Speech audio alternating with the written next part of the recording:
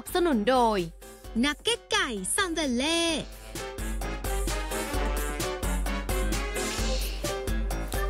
สวัสดีครับ ข่าวนอกลู่มาแล้ววันนี้เริ่มต้นที่ระยองที่เห็นอยู่นี้เป็นที่พักผู้โดยสารริมถนนสาย 3376 แยกขนามไร่อำเภอบ้านฉางจังหวัดระยอง จะเห็นว่าเป็นที่พักผู้โดยสารที่แปลกกว่าที่อื่นๆคือมีสารที่สร้างขึ้นอยู่ในที่เดียวกัน จนมีคนสงสัยว่าใครสร้างก่อนกัน พิจารณาจากสภาพสารที่สร้างขึ้นมาหลังคามุงสังกะสี ในสารมีรูปปั้นตายาย ช้าง ม้า มีกระถางทูบพวงมาลัยมากมาย น้ำแดงหลายสิบขวด ดูแล้วน่าจะสร้างมาก่อน ป้ามายุราแหวนทองคำขายของอยู่ที่นี่นานแล้ว บอกว่าสารตายายมีมาก่อนที่พักผู้โดยสาร แต่ไม่ทราบความเป็นมาของสารนี้ว่ามีที่มาอย่างไร ทราบแต่ว่ามีคนมาขอหวยที่ศาลนี้ อถูกหวยก็เอาพวงมาลัยและน้ำแดงมาแก้บน แต่ก็ไม่ได้ถูกทุกคน คนไม่ถูกก็มีเพราะว่าศาลน่ะเขามาก่อนครับก่อนที่ผู้โดยสารก็มาตั้งทำไมนะครับ อันนี้ก็ไม่รู้ความเป็นไปมานะ แต่ว่าก็คือมีคนเข้ามาไหว้ มีขอไว้มั่งอะไรมั่งมีคนถูกไหมฮะ เวลามาขอแบบเนี้ยครับมันก็แล้วแต่ดวงใครดวงมัน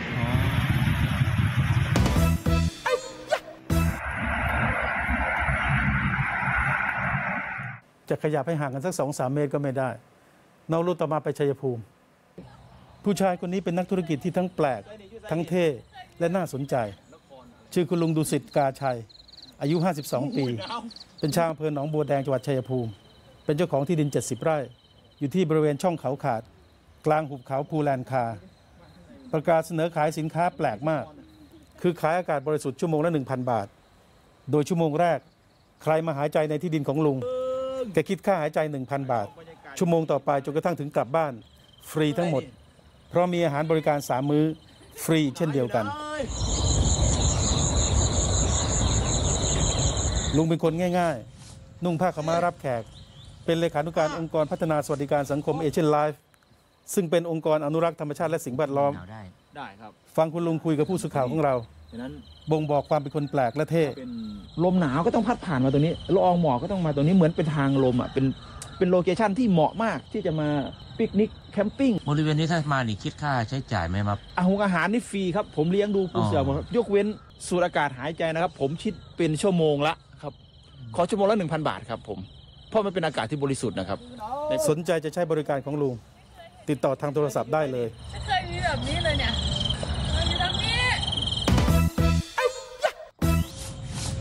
สี่ห้าหกดูท่าจะเป็นผู้นำชุมชนด้วยครับนอกลู่ต่อมาไปตรัง ต้นขาไก่เป็นพืชเศรษฐกิจรสชาติอร่อย ประโยชน์ทางโภชนาการสูงมาก มีธาตุเหล็กสูงกว่าผักทั่วไปถึง 40 ชนิด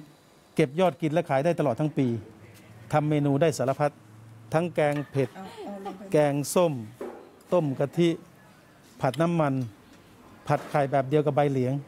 เป็นผักของคนรักสุขภาพ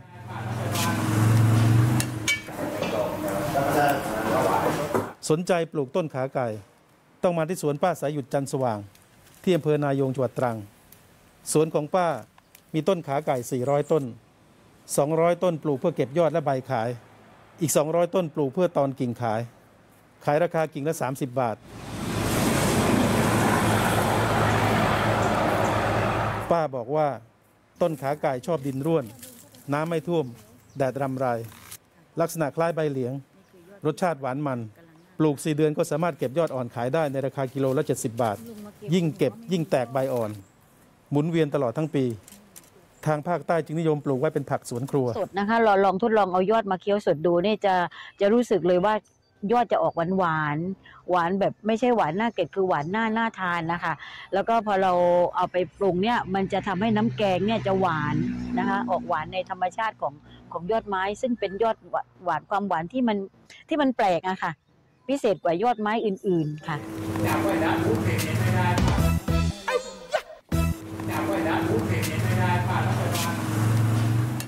ดูทรงแล้วเป็นพืชที่ปลูกไว้กินก็ได้ ขายก็ดี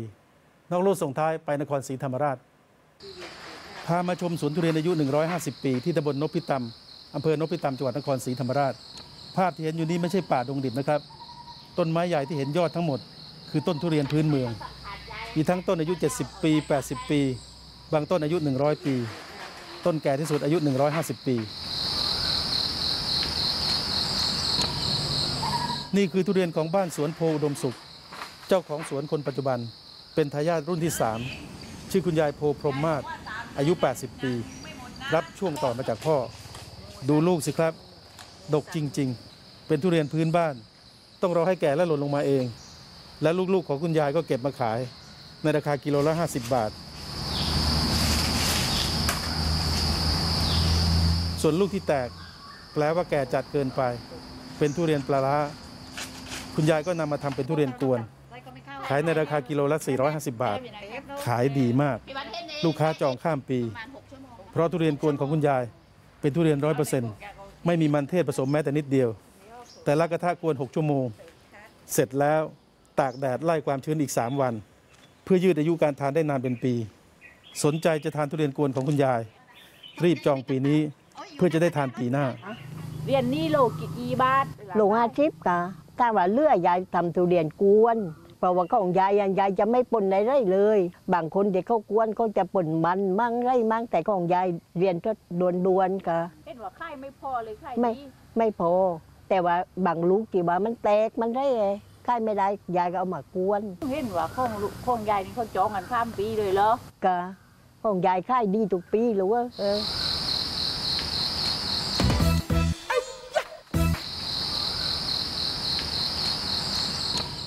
เจ้าของเป็นทายาทรุ่นที่ 3 อายุ 80 ปี สมศักดิ์ศรีทุเรียน 150 ปีจริง ๆ พบกันใหม่วันพรุ่งนี้ครับ ข่าวนอกลูก